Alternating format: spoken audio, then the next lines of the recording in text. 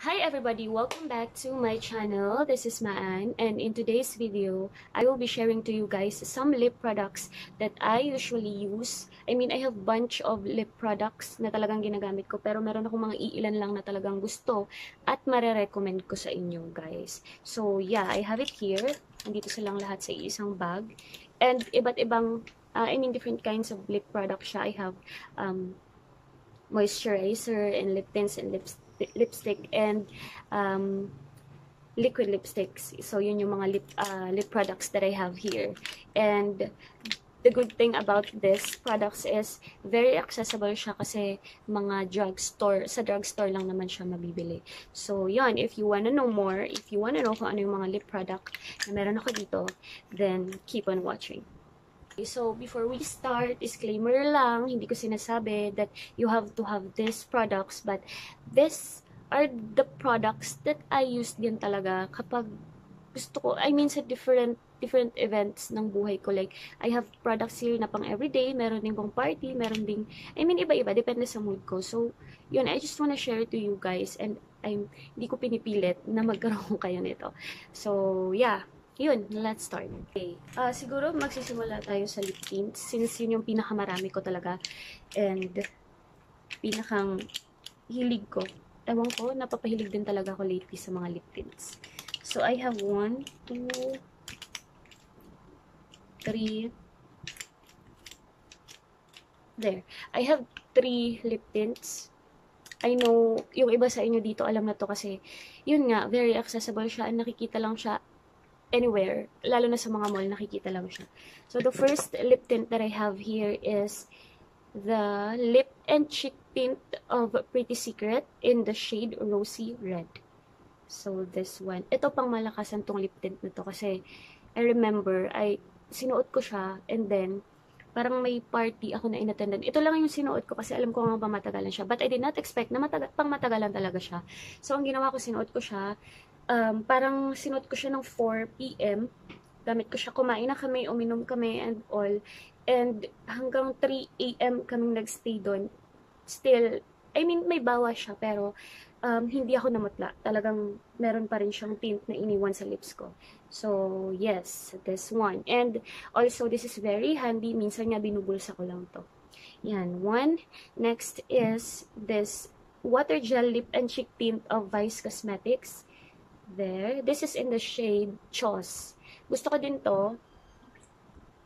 Kasi, very, ano lang, natural lang ng shade niya and maganda to sa cheeks. Ginagamit ko siya madalas sa cheeks ko. Although, ginagamit ko din siya sa lips ko, pero ginagamit ko siya kapag halimbawa nasa bahay lang ako, and then may biglang dumating na, or may bumisita sa akin bigla, yun, ito ginagamit ko para hindi naman ako masyadong maputla. Maputlain kasi ako, guys. So, yan. Two, next is ito pinaka-favorite ko sa tatlo eh. This is um, EB Lip and Cheek Roller. Yan. This is in the shade Uptown Red. Ayan. Sobrang favorite ko to guys. Pang matagalan din to. And I like it because I can put it in my lips without looking at the mirror. So, gaganong ka lang ganyan. O, ba diba? Minsan kapag nasa work, ito na rin yung ginagamit ko kasi very pigmented siya and maganda din yung shade niya. I'm sorry I can't show you this, the, uh, hindi ako makapag-swatch, no? Pero, siguro, ibang video na rin siguro yun. So, among these three lip tints, ito, kung, kung, depende din kasi sa lip color yan, guys. Pero, among these three, ito yung pinaka-gusto ko. This one. Ayan. So, these are my lip tints.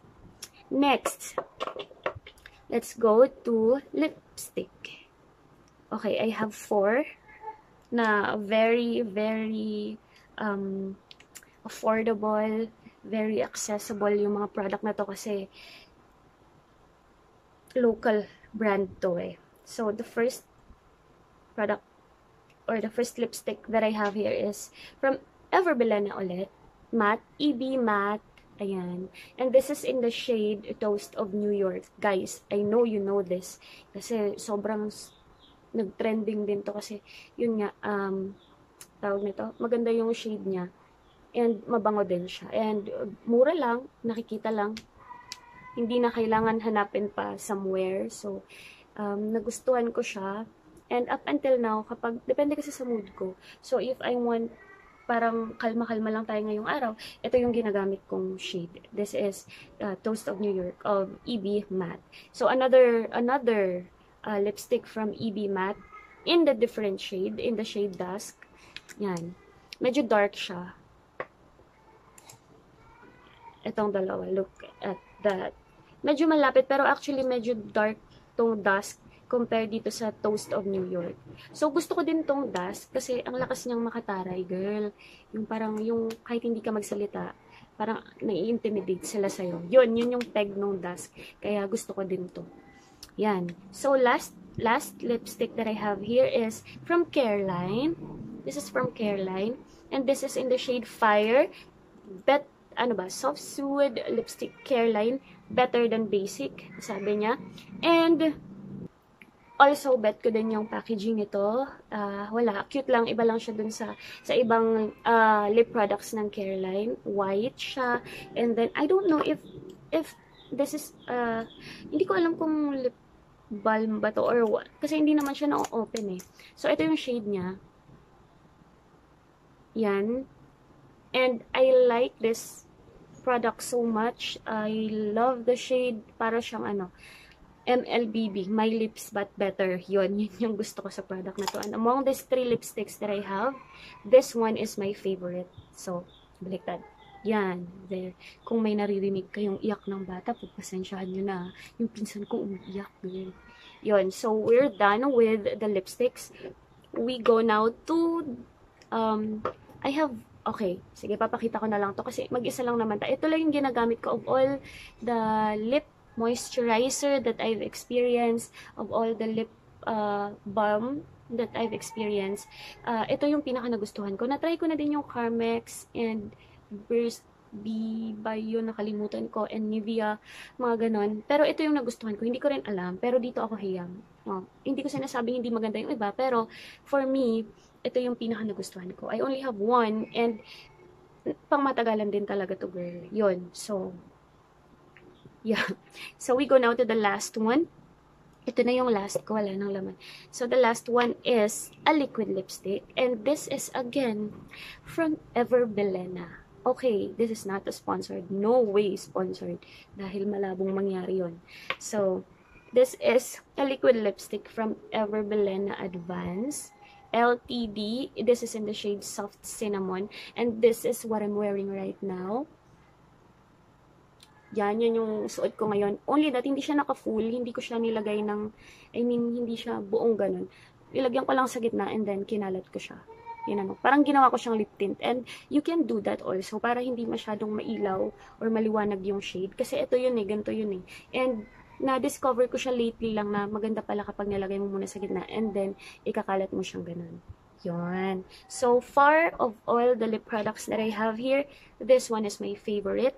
And this is my um, ito yung ginagamit ko every day.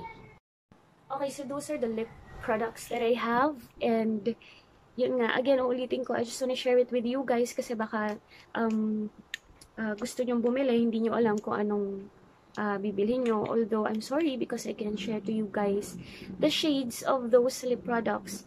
But, uh, pwede nyo naman siyang itry sa mall or sa drugstore, baka meron ng mga tester doon. And few tips also, if you're going to test a lipstick, you bring tissue and ipupunas nyo muna siya sa tissue like this one. Halimbawa, ito yung tester, ipunas nyo siya sa tissue bago nyo i-dampi dun sa lips nyo. And punasan nyo din muna yung lips nyo. Make sure na walang ibang nakapatong na products or lipstick dun sa lips nyo bago nyo lagyan ng shade kasi hindi nyo makikita yung totoong shade or yung totoong shade niya kapag nilapat na sa lips nyo.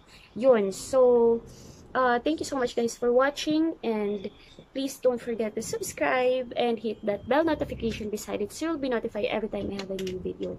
Thank you! Goodbye and I'll see you in my next one. Please don't forget, you are enough. Bye-bye.